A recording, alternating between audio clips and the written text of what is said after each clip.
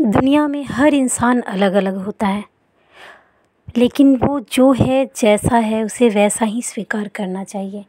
उसे खुद को बदलने की कोशिश नहीं करना चाहिए। ना ही दूसरों को देख के उसे अपने आप में हीनता महसूस करनी चाहिए। क्योंकि भगवान ने सबको अलग बनाया है। संसार का हर एक प्राणी, हर एक इंसान, हर एक चीज़, हर एक वस्तु अपने आप में अलग है। इसलिए कभी अपनी बराबरी दूसरों से ना करें। मैं जो हूँ, मेरे पास जो है, उसमें खुश रहता हूँ, क्योंकि मेरी उंगलियाँ मुझे सिखाती है। दुनिया में कोई भी बराबर कभी नहीं होता। इसलिए हमेशा एक समान रहे। जो है, जितना है, उसमें खुश रहना चाहिए। आखिर ज़िंदगी भी यही सिखाती है कि ज़रूरत से ज़्यादा रोशनी आँख को अंधा बना देती है। आज की कहानी हमारी एक कौवे की है। एक कौवा जो कि जंगल में रहता था और हमेशा खुश रहता था। उसे किसी बात की कोई परेशानी नहीं थी वो चुपचाप मस्ती में अपना इधर से उधर घूमता रहता था।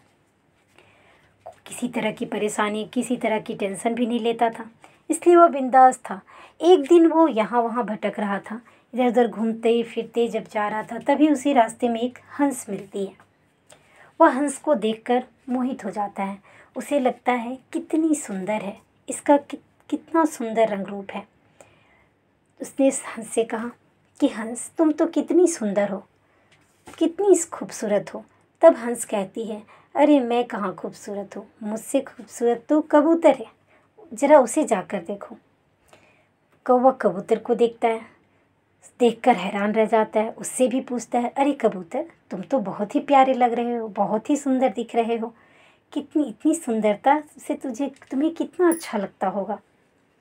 तो कबूतर कहता है कि मैं कहाँ हूँ? मुझसे भी ज़्यादा खूबसूरत तो तोता है। ज़रा उसे जाके देखो।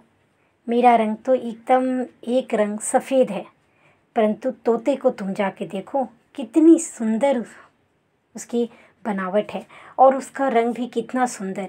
पूरा रंग उसका पूरा शरीर उसका हरे रंग का और गले में लाल रंग का फीता। और होठ भी लाल लाल, कितना प्यारा लगता है। कौवा उसे भी जाकर देखता है। उसे दस जाकर वो भी आश्चर्य में पड़ जाता है। सच में तोता तो बहुत सुंदर है। तोते से उसने कहा कि, अरे तोता, तुम तो बहुत सुंदर लग रहे हो। तुम्हें तो बड़ा मज़ा आता होगा। तुम्हें अपनी सुंदरता पे बहुत अच्छा लगता होगा। तो तोते ने कहा, मैं कहाँ सुंदर हूँ? मुझसे भी सुंदर दूसरा कोई है। तो कौवा पूछता है, कौन है वो? तो तुम जाके देखो मोर को। कि वो कितना सुंदर है। मैं तो बस एक रंग का हूँ। मोर तो कितने रंगों का होता है। उसकी सुंदरता के आगे कुछ भी नहीं। कौवा मोर के पास जाता है। ढूंढता ढूंढता मोर तक पहुँचता है। मोर एक पिंजरे में कैद रहता है।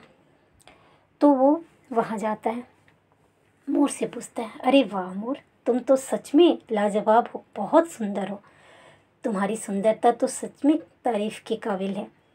तो मोर बोलती है, अरे मैं क्या सुंदर हूँ, मेरी सुंदरता को छोड़ो। ऐसी सुंदरता किस काम की कि मैं पिंजरे में बंद रहूँ? मुझसे तो कहीं अच्छे तुम हो कि कम से कम तुम अपनी ऊँची उड़ान भर सकते हो, अपनी मर्ज़ी की ज़िंदगी जी सकते हो। मैं तो रंग से सुंदर हूँ, पर तुम तो अपने दिल से सुंदर हो, अपनी मर्ज़ी के सुंदर हो। तुमसे सुंदर तो कोई भी नहीं। यह सब सुनकर कौवे को आश्चर्य में पड़ जाता है कि क्या मैं सच में इतना अच्छा हूँ? और इसी तरह वो सुन के अपने आप में वो खुश भी होता है कि हाँ ये बात तो सही है, मैं अपनी मर्ज़ी का हूँ।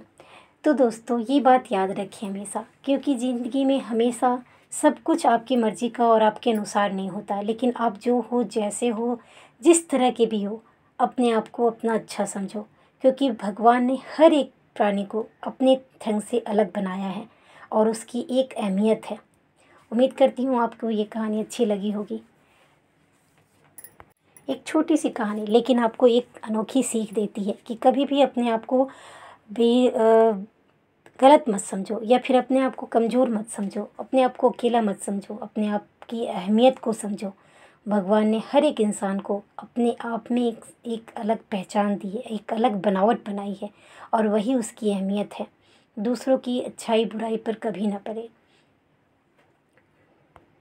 आपको ये कहानी कैसी लगी? अपने विचार कमेंट बॉक्स पे लिख के ज़रूर बताएँ।